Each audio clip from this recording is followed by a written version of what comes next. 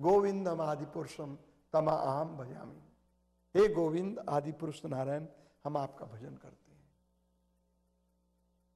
ये अनंत ब्रह्माओं को देख करके ये चतुर्मुखी ब्रह्मा की हालत तो बेकार हो गई। घबरा उठे और गिड़गिड़ाने लगे। और मूर्छित हो गए। मूर्छित हो गए, भगवान श्री कृष्ण के चरणों में गिर गए। भगवान ने सभी ब्रह्माओं की, भगवान स्तुति की, ब्रह्माओं को जाने का आदेश दिया। कोई नहीं है इस समय। ब्रह्मा जी मूर्छित पड़े पड़े हैं चरणों में, चतुर्मुखी ब्रह्मा। भगवान ने कहा, ब्रह्मा जी, उठो। ब्रह्मा जी को होश आया और उठे, हाथ जोड़े, गिड़गड़ाते, कांपते हुए। ये क्या? ये जो मैंने अभी देखा, ये विभिन्न ब्रह्मा और हज़ार लाख करोड़ों मुखों वाले, ये क्या सत्य है भगवान? यह मेरी आँखों का भ्रम है।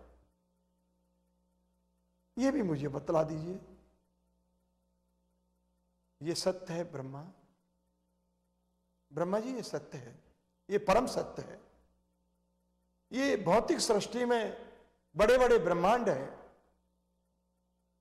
जहाँ पर मुझे ब्रह्माओं की आवश्यकता होती है, सृष्टिकर्ता, चौरासी लाख योनियों को रचने वाला ब्रह्मा।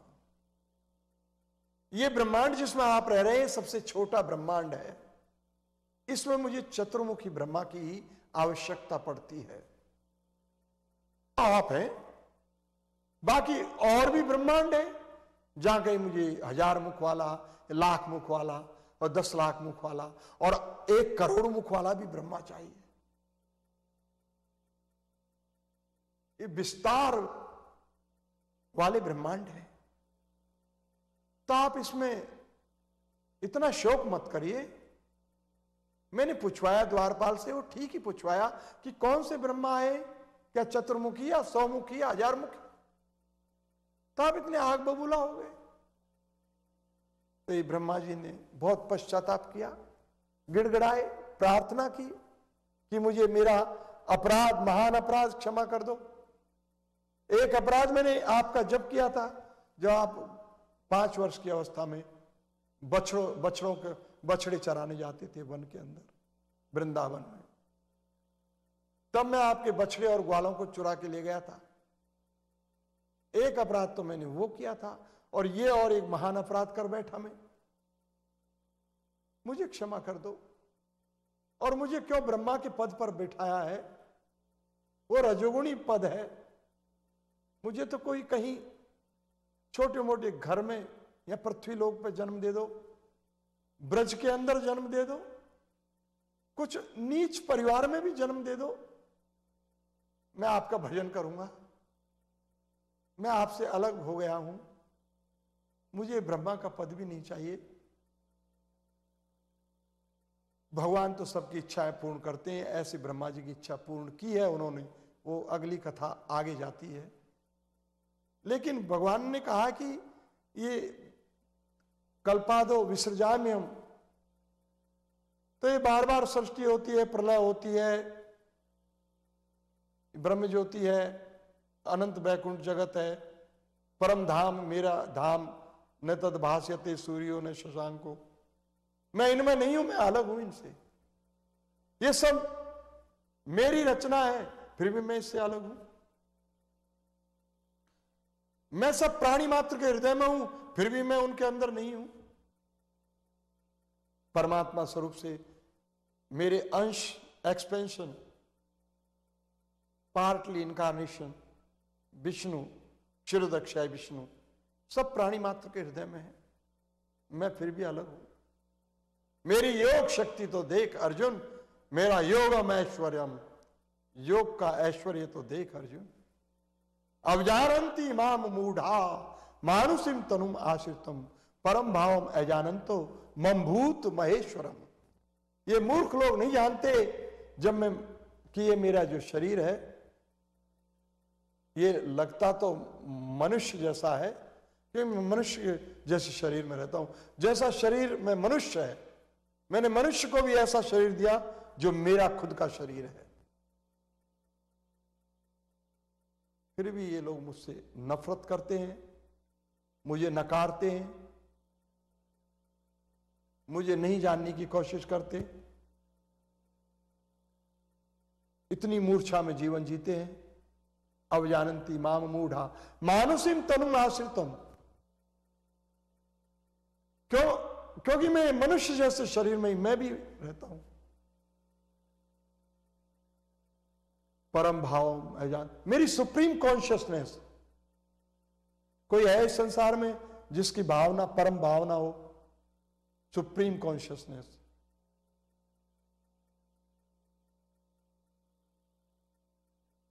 या कॉन्शियसनेस?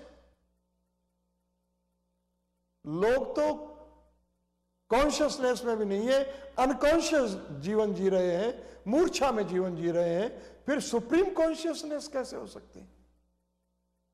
सुपर कॉन्शियसनेस भी नहीं है। सुपर कॉन्शियस में भी परमात्मा विष्णु आते हैं। शिरोदक्षाय विष्णु, गर्भोदक्षाय विष्णु, महाविष्णु। ब्रह्मा जी ने स्तुति की है भगवान की? यक्षुर एस सविता सकल ग्रहणम राजा समस्त सुरमूर्तिर अशेष तेज। यश आज्ञा भ्रमति संभृत काल चक्रो गोविंदमादि पुरुषम तम अहम भजामी। ये चक्षुर एस ये यूनिवर्सल भगवान का विराट स्वरूप है। ये ओरिजिनल स्वरूप नहीं है, मानुषम शरीर नहीं है, व्यक्तिगत रूप नहीं है। ये यूनिवर्सल फॉर्म है भगवान की, क्योंकि इसके अंदर भी तो भगवान विष्णु बैठे हैं। जैसे आपका शरीर है, उसके अंदर आप खुद बैठे हैं। आपकी आत्मा के अंदर भी परमात्मा है। यह भी भगवान का ही क्षेत्र है। यहाँ भी भगवान है। तो फिर यूनिवर्स के अंदर भी भगवान है। यूनिवर्सल फॉर्म भगवान कहते हैं कि जो सूर्य है, ये मेरा एक नेत्र है इस विराट रूप के अंदर। इस सूर्य के सामने सारे देवता लोग, सुरमूर्ति आशीष तेज। देवता लोग भी फीके पड़ जाते हैं। चंद्र, तारे सब फीके पड़ जाते हैं। ये सारे ग्रह, बृहस्पति, शनि बुद्ध बुद्ध मंगल, इत्यादि सब फीके पड़ जाते हैं, निस्तेज हो जाते हैं। ये मेरा एक नेत्र मात्र है यूनिवर्सल फॉर्म में। ऐसे अनंत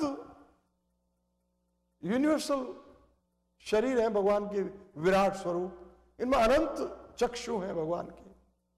भगवान कहते हैं ये ब्रह्मा जी स्तुति करते हैं कि, हे गोविंद, आपके ये विराट स्वरूप के चक्षु सूर्य के सामने ही सारे देवता फीके पड़ जाते हैं, सारे ग्रह नक्षत्र फीके पड़ जाते हैं। ये चक्षुर एस सविता सकल ग्रहणम, राजा समस्त, सारे राजा ब्रह्मांडों की सब फीके पड़ जाते हैं। राजा समस्त सुरमूर्तिर अशेष तेज। यश आज्ञा भ्रमति संभृत काल चक्रो और इसमें वास कर रहे भगवान विष्णु की आज्ञा से सारा काल चक्र घूम रहा है, सारा यूनिवर्स घूम रहा है। सुचारू रूप से। हम ज़िंदा है, हमारा प्लानिट ज़िंदा है। उनकी इच्छा से।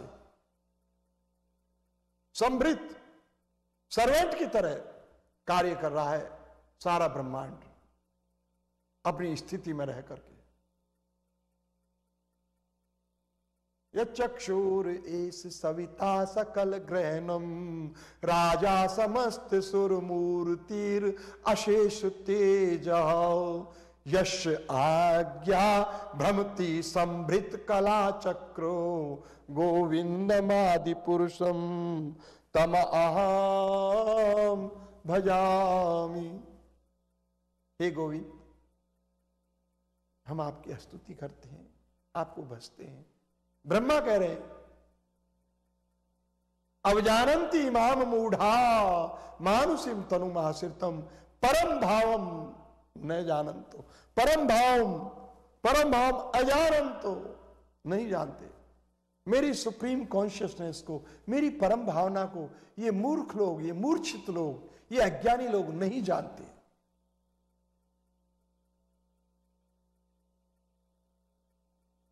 कि मैं कौन हूँ? मैं भी मनुष्य जैसे शरीर में रहता हूँ। दो ही सुंदर मेरे हाथ हैं, दो पैर हैं, दो नेत्र हैं। शीश पर मोर मुकुट है, हाथों में मुरली है। जैसे मैक्सिकन लोग मुरली बजाते हैं। और भी अनेक मुरली बजाते हैं। उनके हाथ में भी मुरली है। उनके भी हाथों में दस उंगलियाँ हैं पाओ में दस उंगलियाँ हैं। सेम डिक्टो कॉपी मनुष्य का शरीर है उनका। अपने शरीर के जैसा ही ये मनुष्य को शरीर दिया।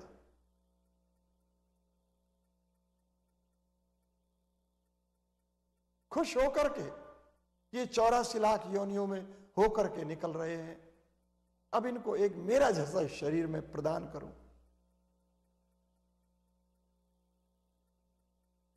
तो मूर्ख लोग इस बात को नहीं पहचानते और कहते हैं कि अरे, ये कोई राजा के पुत्र होगा, या कोई योगी पुरुष होगा? हम क्यों पूजा करें? हम क्यों उनका नाम जप करें? आए चले गए। कितने आए हैं, कितने चले गए? राम हुआ, लक्ष्मण हुआ, कृष्ण हुआ, बलराम, ये सब राजाओं के बेटे रहे होंगे, या कोई महान पुरुष रहे होंगे? अच्छे काम किए होंगे। ये भगवान कृष्ण के वाक्यों को मूर्ख लोग नहीं जानते कि भगवान क्या कह रहे हैं। और बहुत से कहेंगे कि नहीं, वो निराकार है। बहुत से नहीं, तुम निराकार का भजन करो। तुम देवताओं का भजन पूजन करो। वो मना नहीं कर रहे।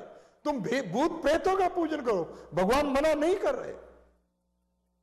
लेकिन भगवान की वाणी को भी तलवार लेके काट देने वाले मूर्ख लोग तैयार है। फिर कहते हैं कि हमने गीता पे भाष्य लिखा है। गीता पे गीता की हमने कमेंट्री दी है। हम फिलोसफर हैं। हम डिग्री होल्डर हैं। कितने खिताब हमने जीते हैं। हम विद्वान हैं शास्त्रार्थ, शास्त्रों के। हम इलाइटेंड हैं, प्रकाशमान हो गए हैं। हज़ारों लाख हमारे शिष्य हैं। अब हम गीता पे कमेंट्री लिखेंगे। गुरु जी की कमेंट्री झूठे गुरुओं की, आडंबरियों की, मूर्खों की, मूर्छितों की। ऐसे लोगों की व्याख्याओं की वैल्यू नहीं बल्कि पॉइजन है वो गीता के अंदर। भगवान ने कितने सरल हृदय से सभी बात कही है हम सबसे अर्जुन के माध्यम से ये मूर्छित लोग मेरी परम भावना को नहीं पहचानते मैं परमेश्वर हूँ। परम भावना परमेश्वर के पास होती है और उस पर, परमेश्वर से मिलना है तो उस भक्त को भी शुद्धतम भावना पर जाना पड़ता है, तब कहीं मिल पाता है। परम धाम में जाने वाले की भावना भी परम होनी चाहिए, इतना ऊँचा लेवल होना चाहिए, तब वहाँ पहुँच पाता है। भगवान के स्थान को तो कोई नहीं ले सकता। लेकिन भगवान के चरणों में तो बैठ सकता है, भगवान को आलिंगन तो कर सकता है, भगवान से वार्तालाप तो कर सकता है। भगवान को जल अर्पण तो कर सकता है, कर सकता है। लेकिन मूर्छित लोग कैसे करेंगे? वो तो जानते ही नहीं, अपने आप को भी, कि हम कौन है? अपने आप को जान जाए। तो जैसे चैतन्य महाप्रभु जी ने कहा कि जीवरो स्वरूप है नित्य कृष्ण ये जीव का स्वरूप नित्य कृष्ण का दास बने रहने में है। इसका ये असली स्वरूप है। और हम देखते हैं अपने रूप को शीशे में कि हम ये हैं, बड़े रूपवान हैं, ऐसी हमारी मूछे हैं, ऐसी दाढ़ियाँ हैं, चौड़े कान हैं। ये रूप नहीं है आपका। आप सोचेंगे मेरा, हमारा रूप है। नहीं ये तो शरीर का रूप है। आप शरीर नहीं है, आप आत्मा है। आपका स्वरूप तो सच्चिदानंद है। और सदैव कृष्ण का दास बना रहना आपका स्वरूप है। इससे अन्यथा नहीं। फिर बड़ी बड़ी डिग्रियाँ लो फिलोसफर बनो, या मनोवैज्ञानिक बनो। इससे भगवान समझ में नहीं आते। नहीं। उनके शास्त्रों पर श्रद्धा होनी चाहिए, उनकी वाणी में श्रद्धा होनी चाहिए। ये Bhagavad Gita as it is पाँच हज़ार तीन सौ वर्ष पहले भगवान की मुखारबिंद से निकली, वो आज चली आ रही है। ये श्लोक जैसे थे, वैसे के वैसे हैं। एक शब्द भी इधर से उधर हो नहीं सकता करेक्शन क्योंकि कंठस्थ है। हज़ारों लाखों भगवान के भक्तों की कंठस्थ है। इसमें चेंजिंग नहीं कर सकता कोई, गड़बड़ नहीं कर सकता बदमाश आदमी। ये एज इट इज़ है। भगवान की वाणी है।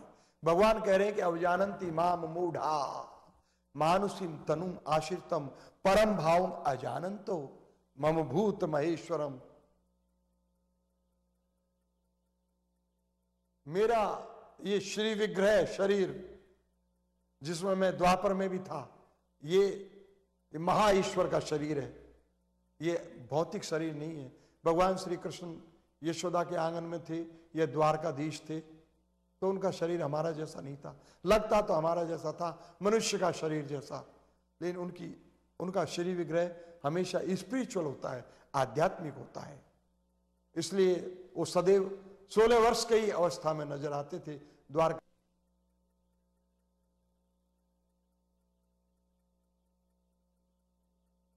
बाल लीलाएँ भी करी वो शरीर के अंदर तो बड़े क्वालिटीज है, गुण है। वो तो किसी भी रूप में, रूप बना ले वो शरीर। आध्यात्मिक शरीर है वो स्पिरिचुअल बॉडी है।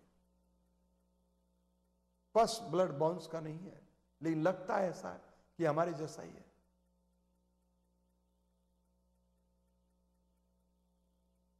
नंद देवकी के पुत्र बने, नंद के घर पलते हैं।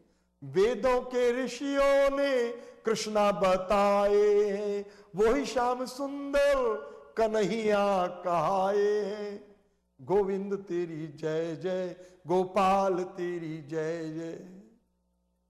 हे बाके बिहारी, नंदलाल तेरी जय जय।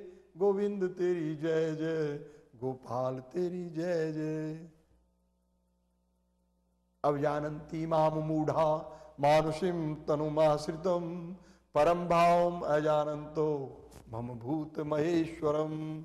इस प्रकार से भगवान ने अर्जुन को कहा कि मूर्छित लोग मुझे नहीं पहचानते, क्योंकि मैं इनके जैसे शरीर में, मनुष्य जैसे शरीर में ही रहता हूँ।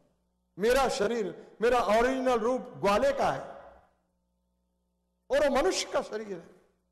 ये भगवान का स्पिरिचुअल शरीर है। और परम रूपवान है। उनके रूप से किसी का रूप नहीं मिलता है। उनके नेत्रों से किसी के नेत्र नहीं मिलते हैं। उनके रंग से भी किसी का रंग, उनके शरीर के अंग प्रतंग और रंग, ये बड़े अद्भुत हैं। इसलिए उनको यहाँ भी, द्वापर में भी, जो कोई भी देखता था, वो मोहित हो जाता था उनकी तरफ़। भक्ति भावना से ईर्ष्या जलन से देखते थे वो उनके विरोधी हो जाते थे। जरासंध, शिशुपाल, दंतवक्र, कंस इत्यादि।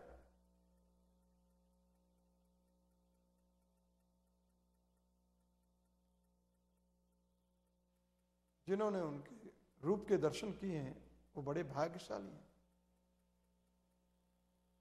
उनका जन्म सफल हो गया। वो उनके धाम के वासी बन गए। चाहे वो युधिष्ठिर महाराज हो। यहाँ तक भी दुर्योधन का भी कल्याण हो गया।